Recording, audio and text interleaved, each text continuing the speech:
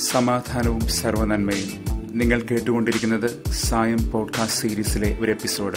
ഞാൻ കപ്പുച്ചൻ സന്യാസ വൈദികനായ ജയന്ത് മേരി ചെറിയാൻ.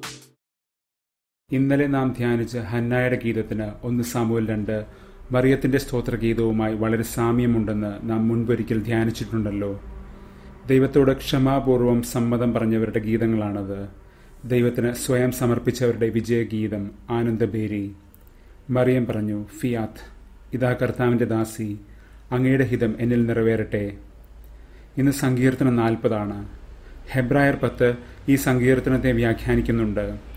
ആ വചനം ധ്യാനിച്ചാൽ നമുക്ക് മനസ്സിലാകും സങ്കീർത്തനം നാൽപ്പത് എന്നത് മനുഷ്യാവതാരം ചെയ്ത ക്രിസ്തുവിന്റെ ഹൃദയമൊഴികളാണെന്ന്. പിതാവിന്റെ ഇഷ്ടത്തിന് സ്വയം ഏൽപ്പിച്ചു കൊടുത്തുകൊണ്ട് ക്രിസ്തു പറയുന്ന സമ്മതം. അങ്ങെനിക്കൊരു ശരീരം തന്നു. ഇതാ ഞാൻ അങ്ങയുടെ ഹിതം നിറവേറ്റാനായി വന്നിരിക്കുന്നു. യഥാർത്ഥ ബലിയെന്തെന്ന് അവൻ ഈ അനുസരണം വഴി പഠിപ്പിക്കുകയാണ്. ബലിമൃഗങ്ങളുടെ ചോരയല്ല സ്വന്തം രക്തം ബലിയായി നൽകിക്കൊണ്ട്. ഇന്നലെ നാം ശ്രദ്ധിച്ചല്ലോ കർത്താവിന്റെ ശരീര രക്തങ്ങളുടെ ആത്മബലിയുടെ ഒരു പാനപാത്രം.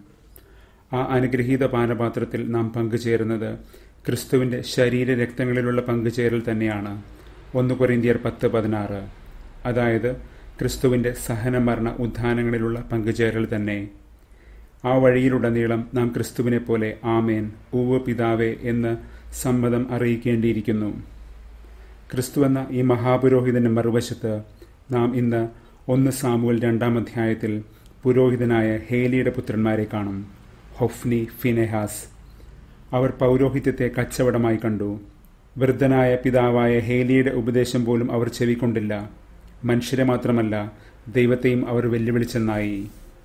ഒന്ന് സാമൂൽ രണ്ട് ഇരുപത്തിയേഴ് മുതൽ മുപ്പത്തി വരെ ഹേലിയുടെയും പുത്രന്മാരുടെയും പതനം പ്രവചിക്കപ്പെടുകയാണ്.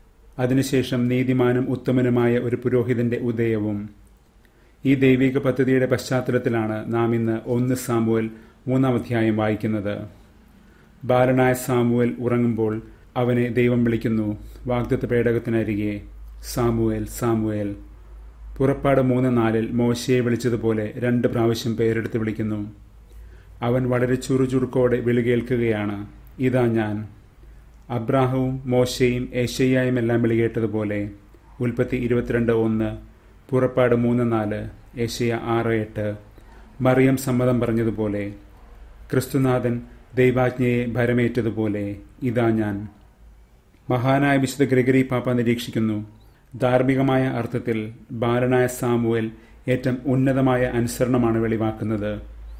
ദൈവത്തിന്റെ ആജ്ഞയെ ചോദ്യം ചെയ്യുകയോ അതിനുമേലെ സ്വന്തം നിലപാടുകളെയോ വിധിതീർപ്പുകളെയോ പ്രതിഷ്ഠിക്കാതെ സാമുവലിന്റെ കർമ്മവീതികൾ വിജയപ്രദങ്ങളാകുന്നത് അതുകൊണ്ടാണ്.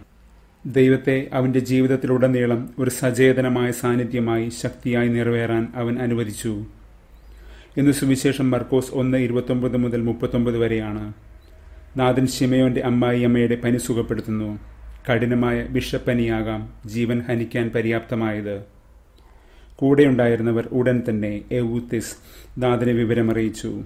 നാഥൻ അവളെ കൈക്ക് പിടിച്ച് ഉയർത്തി എഴുന്നേൽപ്പിച്ചു. ഉടൻ തന്നെ പനി വിട്ടുമാറി അവൾ ഉടനടി അവരെ ശുശ്രൂഷിച്ചു. ഡിയാക്കോണിയ.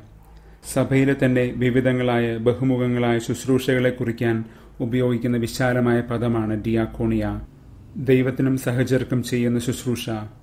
നാഥൻ അവളെ കൈപിടിച്ചെഴുന്നേൽപ്പിച്ചു എഗേറോ എന്നത് ഉയർപ്പിനെ സൂചിപ്പിക്കുന്ന പദം തന്നെയാണ്.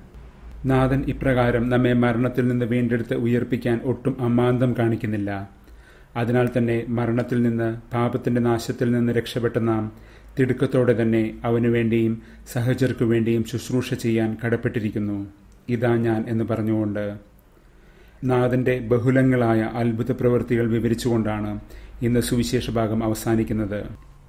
ദൈവരാജ്യം അത്രമേൽ സമീപസ്ഥമായിരിക്കുന്നു. സ്പർശിക്കാൻ തക്കവണ്ണം എന്നതിന്റെ അടയാളം പോലെ ഇന്ന് ദൈവസ്വരം കേട്ടപ്പോൾ കൊച്ചു സാമുവൽ അത് പച്ചയായ ഒരു മനുഷ്യന്റെ സ്വരമായി തിരിച്ചറിഞ്ഞത് ഇതുപോലെ തന്നെയാണ്.